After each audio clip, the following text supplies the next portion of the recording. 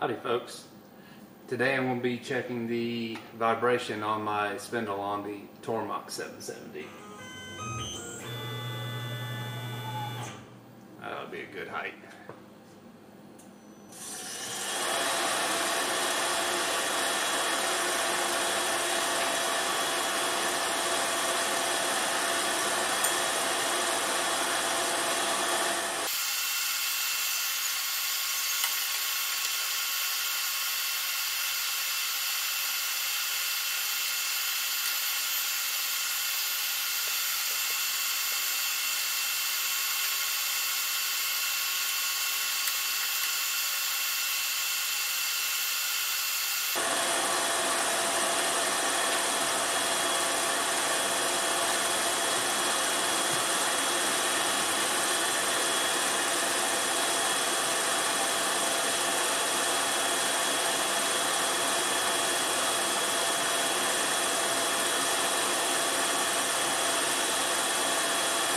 Alright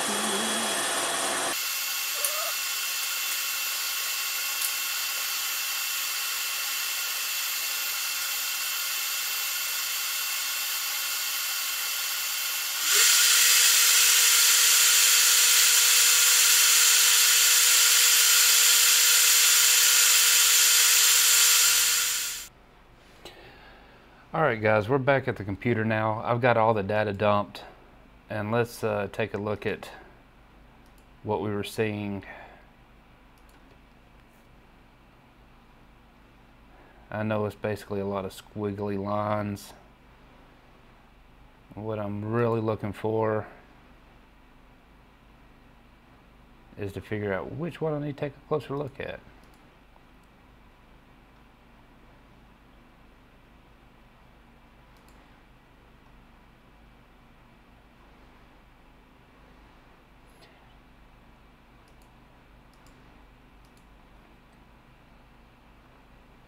We have certain frequencies pegged here.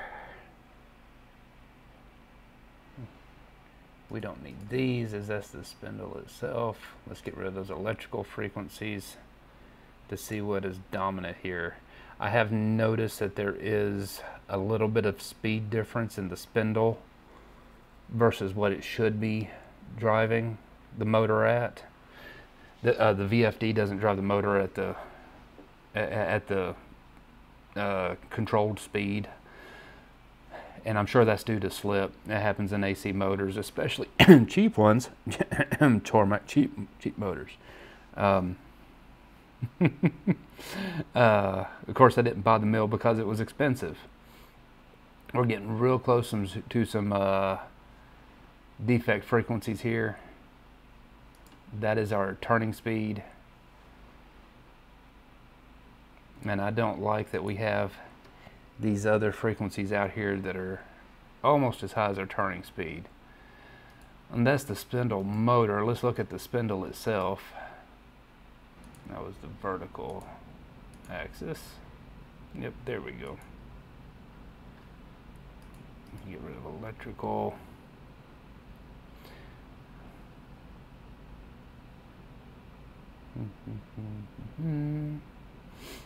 we do have some bearing defects showing up real low.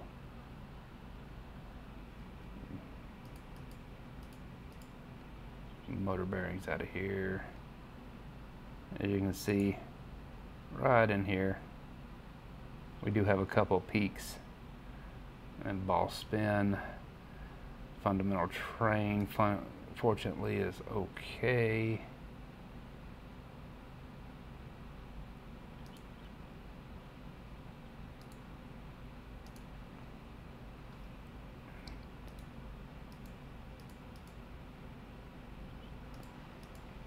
I'm only worried about the 706 and the 707 is that's what the uh, Tormach uses in the spindle itself. And as you can see we're getting some it's real close. It's not dead on but like I said the driven speed is not entirely correct.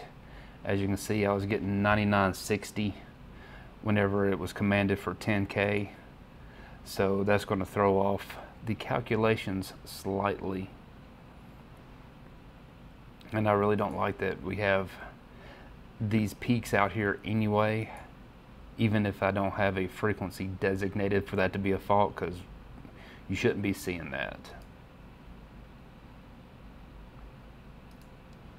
Let's take a look at the spindle side, uh, the, the tool side of the spindle.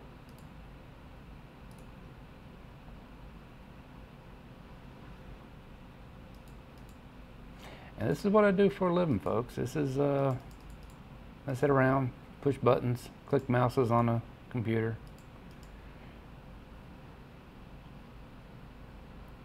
I have way too many faults brought over into this one, but this was hastily built database so that I could get this looked at.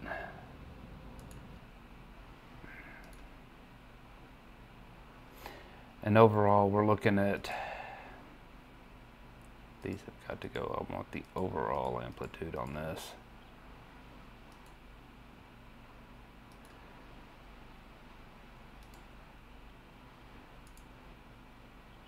Yeah, we're looking at 6 G's of acceleration, and that, that's way too much in a tool spindle. All in all, other than these waveforms here, what, what does it mean, big picture? You know, the big picture is telling me that the spindle motor itself is making some racket. It's telling me that I do have some bearing wear. I have a raised noise floor down here. Not happy with, with it. But the bearing's going to last a while. I, I'm, I'm going to continue to monitor them because I can, probably on a monthly basis. Uh, if this was a customer machine, I would tell them, you know, quarterly to be on the safe, you know, at least twice a year, just to, uh, at the bare minimum. But uh, I, I, have the uh, ability to monitor it regularly, so I'll keep them, keep an eye on these, trend it out, see how it's doing. I'm going to plan to replace the bearings in the future.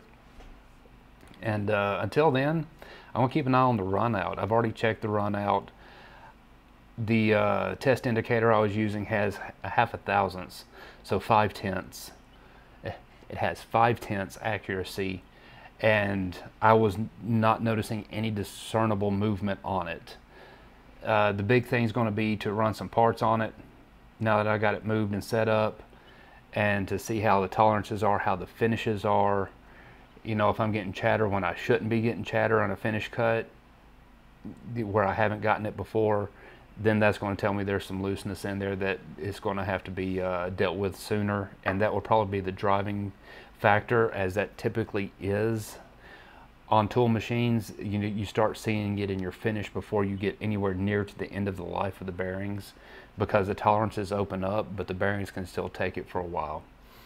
Uh, you know, a hydraulic pump, they'll sit there and rattle themselves to death pretty much and uh, still pump.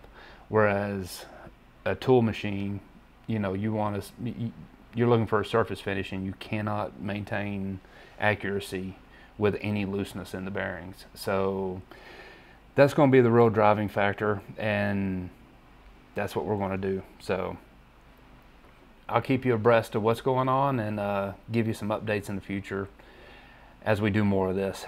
Thanks for watching. We'll see you later. Subscribe. I've got some cool stuff coming up with fourth axis and whatnot, so uh, we'll see you in the next videos.